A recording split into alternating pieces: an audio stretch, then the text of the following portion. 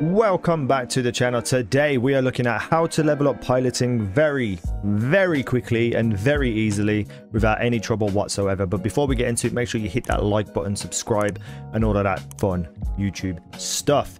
So, to level up piloting means that you get to be able to fly ships with a higher class. So most ships that you start with are like level A, reactor type A, and they're the most basic ships, but you want like B and eventually C. As you can see right here for me, I've got, you know, the shield breaker that I bought from the ship guy. Really, really good, powerful ship to have. And I've only just got piloting up because I just couldn't be bothered before. But it is way better than most of the other ships that I have this, I can't wait to use, the Dragonfire, but I need to get to rank 4 to get to C. And the way that you do this is by obviously putting skill points into piloting. Now you can see the challenge progress down in the bottom left for me right now is destroy 30 ships. Above that, I think it was destroy 15, and I think the first rank to rank 2 was 5, so 5, 15, 30.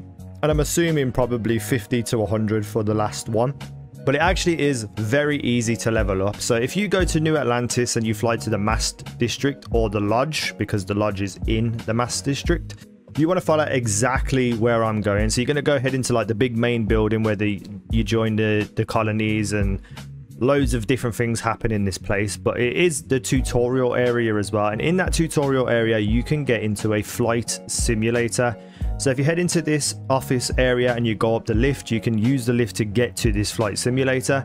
You go into the flight simulator and you will be able to fight a whole bunch of ships. And every time you kill one of these ships with the powerful ships that they give you, you will add on to your progress of leveling up piloting. I haven't exactly counted how many ships you get in one run, but it's it's a good enough amount.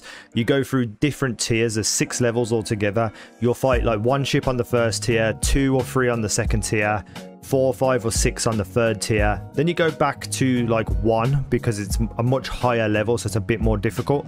And then you go back to like two or three and then like six again. So there's a whole bunch of ships here and it's very easy to kill them all without dying whatsoever. But even if you die, you lose nothing.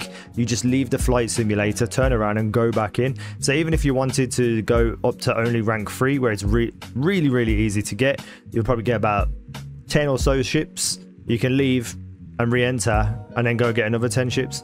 So just make sure that you have the skill points to spend beforehand because if you get to rank 2 and you need to destroy 15 ships and you destroy those 15 ships but you don't have the skill point to level up piloting, that means that all of the progress you make after that will not count. You need to be at that rank for it to start counting on the next rank. So once you hit rank 2, go back to this flight simulator, get to rank 3, leave, get yourself a skill point, and then come back and do it all again for rank 4. Not only will this give you the chance to fly better ships, but it also allows you to build better ships that you can fly. So if you're really into thinking about building ships and making the most badass thing that you can do, this is going to be very helpful for you to get early because then you can build better and better ships at a higher level so that you can use it and have fun. Just a quick little tip for those who don't know yet. It's very, very useful. I've been using it and I just need to get a few skill points before I finish it up.